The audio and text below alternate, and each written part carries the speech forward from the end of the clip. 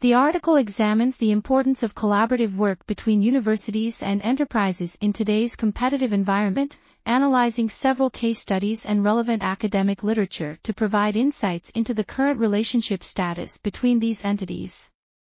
The methodology involves a literature review on university-industry partnerships and targeted case-based experiences with practical feedback.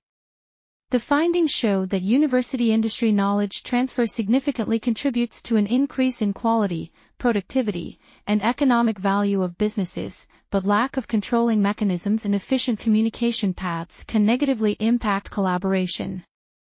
Key collaboration factors are compiled and discussed to support better mitigation strategies. The paper's research limitation is the limited availability of case studies reporting on operative improvements introduced by policy changes, which hinders the effectiveness of the findings. The originality and value of the paper lie in its focus on analyzing the collaboration between universities and enterprises based on case studies with a focus on value creation and gaining a competitive advantage through collaboration.